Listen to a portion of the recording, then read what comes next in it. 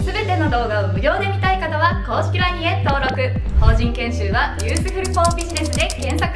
皆さんこんにちは。ユースフルのアッキーです。本日のテーマは開ページについてです。この動画を見ると区切りが良いところで素早くページを変える方法がわかります。我々ユースフルチャンネルでは明日の働き方を変える感動体験をお届けするをテーマにビジネスの現場に役立つ知識を発信しております。ぜひチャンネル登録よろしくお願いします。それでは早速今日のテーマに移っていきましょ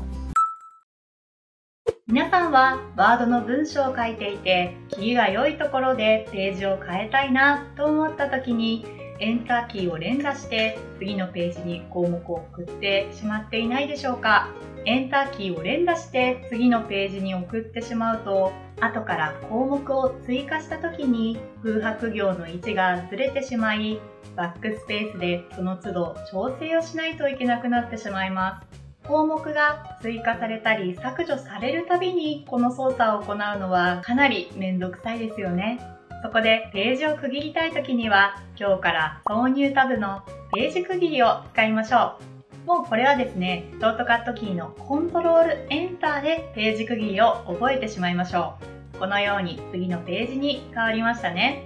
この前後に先ほどと同様に項目を追加したとしても次のページの始まりはずれず最初の位置からスタートしていることがわかります。またきちんとページ区切りができているかどうかの確認方法としてホームタブの編集記号をオンにするとこのように開ページのマークがつきます。ちなみにこの編集記号の表示非表示はショートカットキーコントロールシフト8によっても表示非表示が切り替えられますのでこちらもぜひ覚えておきましょう。今見てきた開ページなのですが長い文章になると毎回毎回開ページを入れていくのは少し面倒ですよね。そこで開ページの自動修正を設定しておく方法があります。こちらの文章ですが今複数のページにわたって行が分かれてしまっていることがわかります。なんだか中途半端ですよね。この場合の対策として選択肢は2つあります。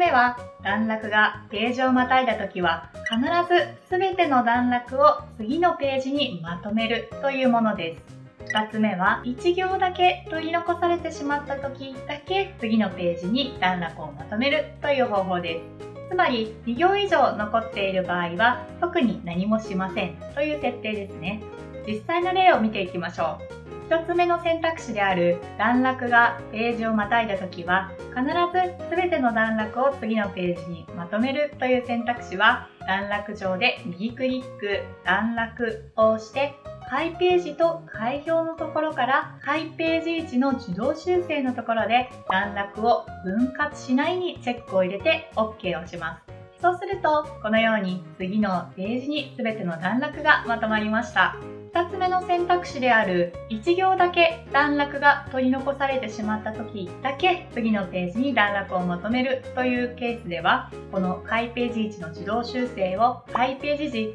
1行残して段落を区切らないにチェックを入れて OK を押しましょう。そうすると今このように次の段落にまとまりましたね。一方で2行残っている時に今と同じ設定をすると特に何も起こりません。あくまでも1行だけ残ってる時に次のページにまとまるという設定なんですね。この開ページの自動修正の設定は個別の段落のところで右クリックをして段落から設定をしましたが今この部分はもともと標準のスタイルが適用されている場所なのでこちらのスタイルの上でもスタイルの変更のダイアログボックスの書式段落のところでもですね同じように開ページ時1行残して段落を区切らないが設定されています。他にも見出し1においてもこの開ページと開業は個別に設定がされていますのでそれぞれのスタイルごとにこの開ページの自動修正の設定ができるんだなということを押さえておきましょう。そもそもスタイルって何だっけという方はですね、別の動画でスタイルについて詳しく解説しておりますので、そちらをご覧いただくと今回の理解が深まるかなと思います。本日はこれで以上ですね。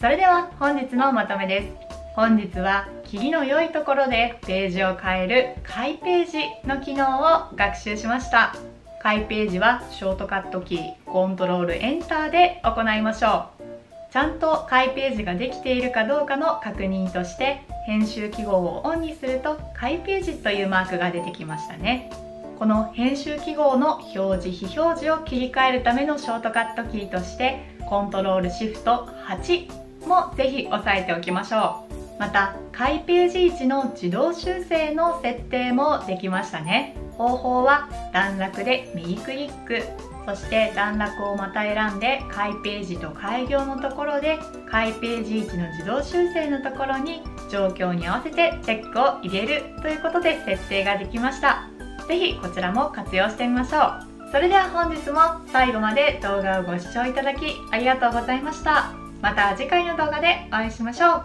See you next time! バイバイ。